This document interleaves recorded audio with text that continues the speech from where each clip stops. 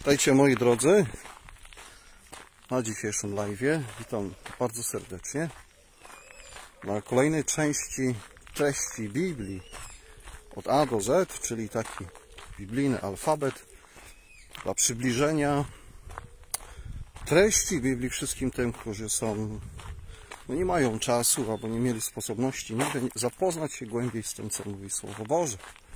E, Dzisiaj już doszliśmy do literki M. Jeżeli spodoba Ci się dzisiejszy materiał, to za- zachęcam do wysłuchania wcześniejszych, a więc od litery A. Są to krótkie nagrania, częstokroć troszeczkę więcej niż 10 minut. Także myślę, że dla każdego z nas w naszym zabieganiu w codziennym życiu na pewno tyle czasu da się zagospodarować. Tym bardziej, że można to słuchać robiąc codzienne czynności domowe. Zachęcam.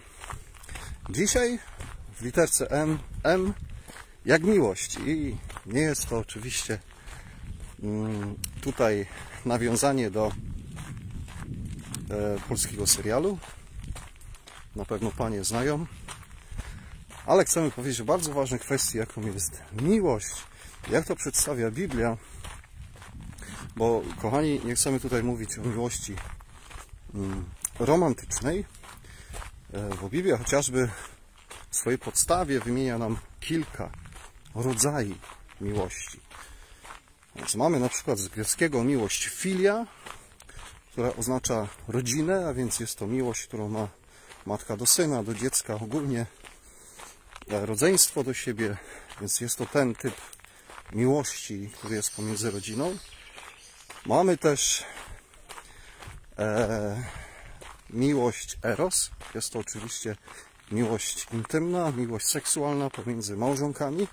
Mamy też miłość agape, czy agapi, w zależności od, od starej albo nowszej greki.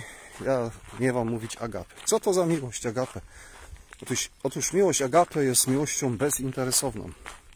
Czyli ty robisz coś dla kogoś, poświęcisz coś, wiele pieniędzy albo wkładu swojej energii, czasu, nie oczekując, że coś dostajesz w zamian.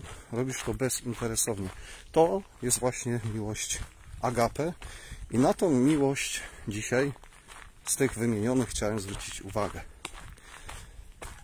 Dlaczego miłość jest taka ważna?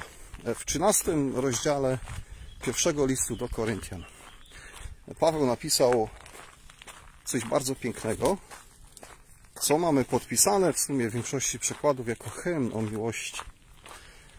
Paweł tam mówi bardzo ważne rzeczy, jak naprawdę wygląda miłość. Paweł przede wszystkim mówi o sobie, że gdyby mówił językami wszystkich ludzi i aniołów, a miłości by nie, by nie miał, byłby niczym, byłby jak cymbał brzmiący. Dalej pisze, że miał dar prorokowania, miał taką wielką wiarę, żeby przenosił górę, ale miłości by nie miał, byłby niczym. Gdyby całe swoje mienie rozdał ubogim, gdyby swoje ciało wydał na spalenie, a miłości by nie miał, byłoby to po nic. Dalej Paweł tłumaczy nam, czym się charakteryzuje taka miłość.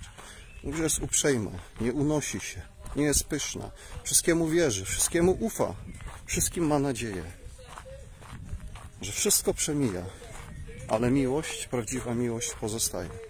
Na końcu Paweł pisze, że najważniejsze są trzy rzeczy: nadzieja, wiara i miłość, ale z nich największa jest miłość.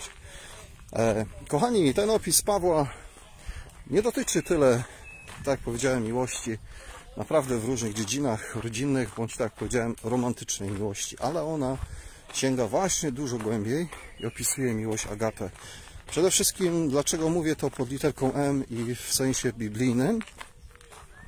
Dlatego, kochani, że największą miłość okazał nam Bóg. Dlaczego? Może się teraz zdziwisz, jak Bóg mógł nam okazać miłość.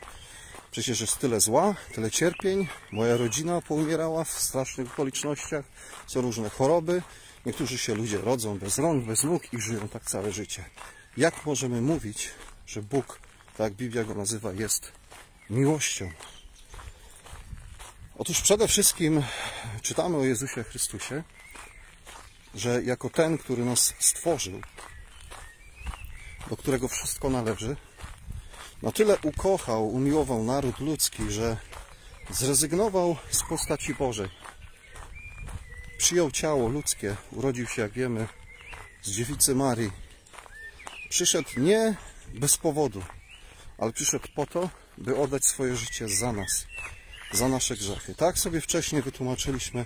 Utraciliśmy bezgrzeszność poprzez grzech Adama. Wszyscy, wszyscy dziedziczymy ten grzech, a więc rodzaj ludzki był skazany z góry na niepowodzenie. Nie przez Boga, ale poprzez czyn Adama i Ewy, naszych pra, praojców. Wytłumaczyliśmy sobie wcześniej, czym jest grzech, dlaczego tak się stało. Natomiast Jezus Chrystus, będąc tutaj na ziemi, powiedział, że nie ma większej miłości nad tej, gdy ktoś oddaje swoje życie za przyjaciół.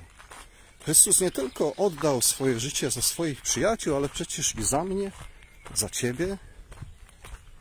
Może dzisiaj jesteś poza Bogiem, może się dzisiaj śmiejesz z takich ludzi jak ja, może się śmiejesz w ogóle z pojęcia Boga.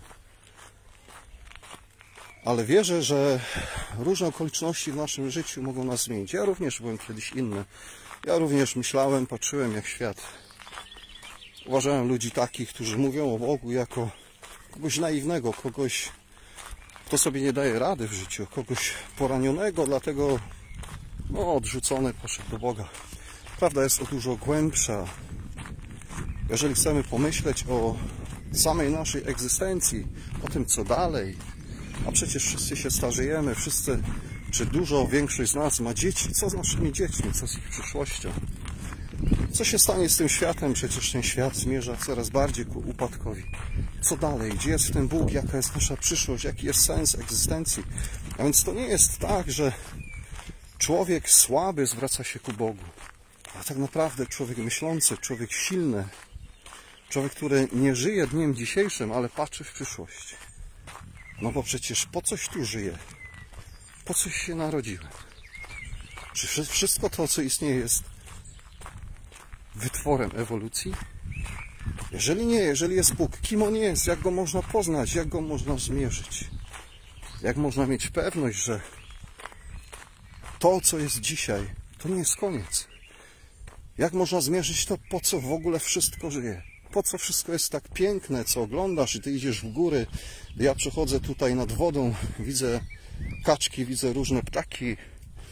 Gdy ty jeździsz na jakieś wycieczka, wycieczki, na wczasy, gdy rodzi się małe dziecko, gdy widzisz małe zwierzę, zwierzęta, zachód słońca, wszystko to jest tak piękne.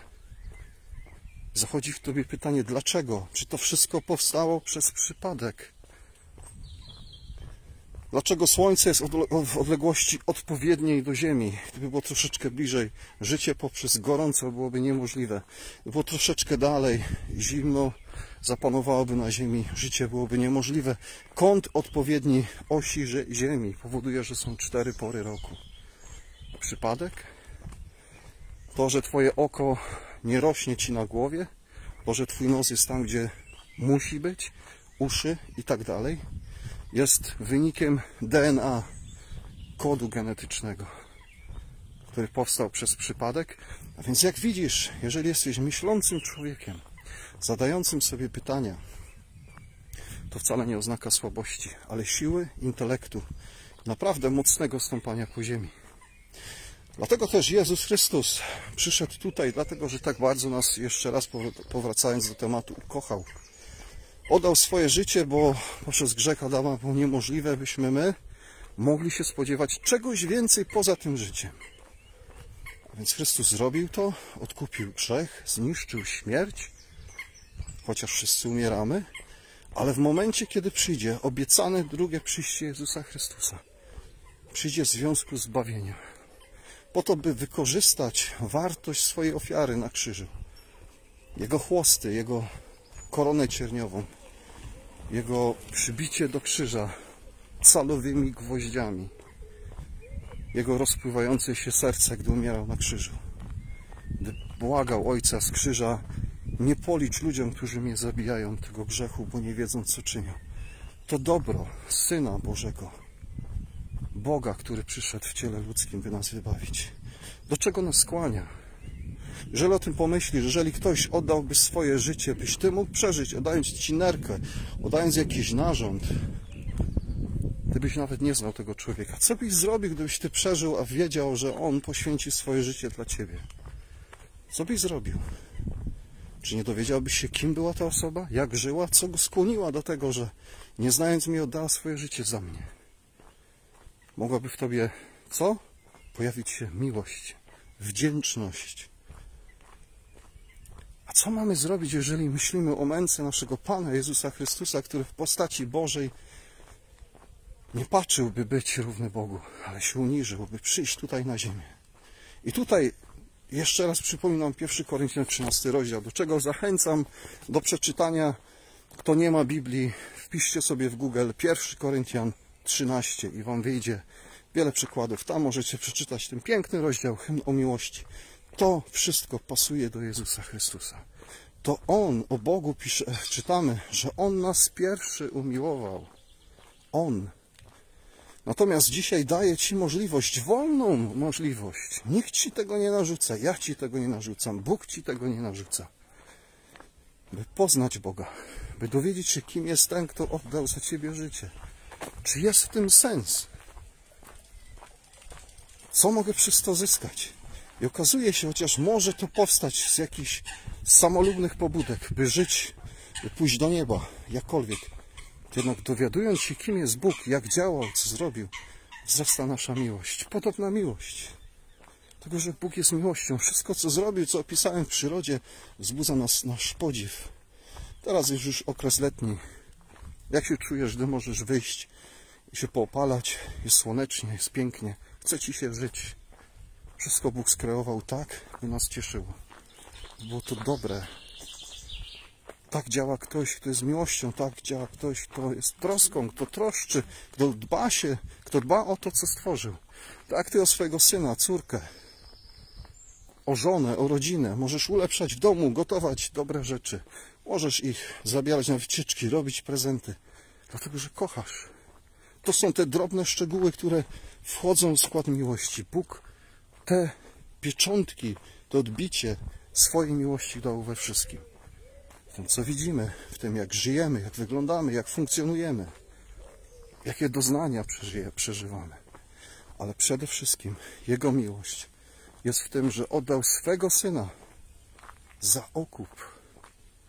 Wyobraź sobie, że Chrystus umarł nie tylko za mnie, za Ciebie, za swoich przyjaciół, którzy wtedy żyli, apostołów, ale również za pedofilów, za gwałcicieli, jeżeli, jeżeli się nawrócą, jeżeli porzucą swoje drogi. Czy to nie jest miłość? Czy oddałbyś swojego syna, swoje dziecko za tak paskudnych w Twoich oczach ludzi? Czy widzisz w tym miłość? Dlatego zachęcam Cię do tego, byś poznał Boga, abyś otworzył Słowo Boże, zaczynając od Nowego Testamentu, od Ewangelii Mateusza. Poznaj. Pomódl się własnymi słowami w głowie, obojętnie jak. Boże, jeżeli istniejesz, pozwól mi siebie znaleźć.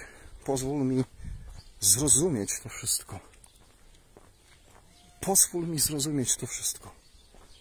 Nie musisz się stać fanatykiem. Ja nie jestem fanatykiem. Nie należę do żadnej religii. Nie zachęcam Cię do żadnej religii. Zachęcam Cię do Boga żywego. Zachęcam Cię do poznania tego, który oddał za nas swoje życie. Zachęcam Cię do tego, byś nie był, jak Paweł pisze, jak cymbał brzmiący, a więc Twoje życie by pozostało bez znaczenia, byś po prostu żył tutaj ileś lat. Może życie doświadczyło Cię w różny sposób, może przez to nie potrafisz być dobry dla innych, jesteś grubiański, jesteś chamski, ale tak naprawdę możesz mieć bardzo dobre, szczere serce, ale ranione przez wiele lat. Dlatego Bóg, znając nas, umarł za nas wszystkich. Dlatego do tego zachęcam poznać miłość Boga, rozmiar Jego miłości, rozmiar tego, co zrobił. Pomimo tego, że my wszyscy jako potomkowie Adama dążymy do złego, dążymy do zadawalania samych siebie, naszych potrzeb seksualnych, potrzeb egzystencjonalnych, zarabiania pieniędzy. Po co nam Bóg, prawda? Po co nam Bóg? Jednak gdy zachorujesz, Jednak gdy się zestarzejesz, to pytanie powróci do Ciebie. Ale czy będzie wtedy możliwość znalezienia tego, do którego Cię dzisiaj zachęcam? Kochani, dziękuję za wysłuchanie. Dzisiaj literka M jak miłość. Pozdrawiam Was wszystkich w imię Pana naszego Jezusa Chrystusa.